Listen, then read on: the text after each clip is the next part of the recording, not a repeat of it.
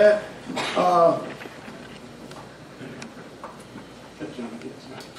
Mr. Ball, how you doing this evening? Good. Just a little bit of housekeeping before we get started. Commissioners, I hope each and every one of you had a chance to read over the minutes for the last month. Is there any changes that need to be made on the minutes from last month? If no changes, I'll take a motion to approve.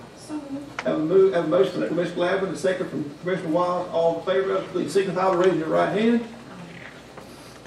Thank you so much, Ms. Carmella, that was unanimous on that. Jason, I see that you